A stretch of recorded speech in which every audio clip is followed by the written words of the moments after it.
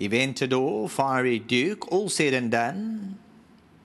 1400 metres on their journey from the 1400.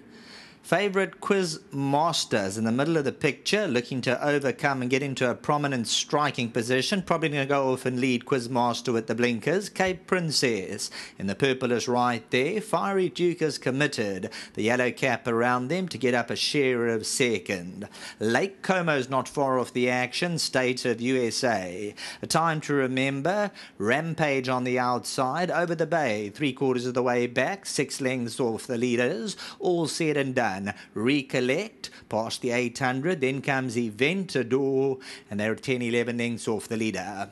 Quiz Master, the odds on favourite. In front, three parts. Fiery Duke is second. Towards the inside, Cape Princess, then Lake Como. Rampage States of USA.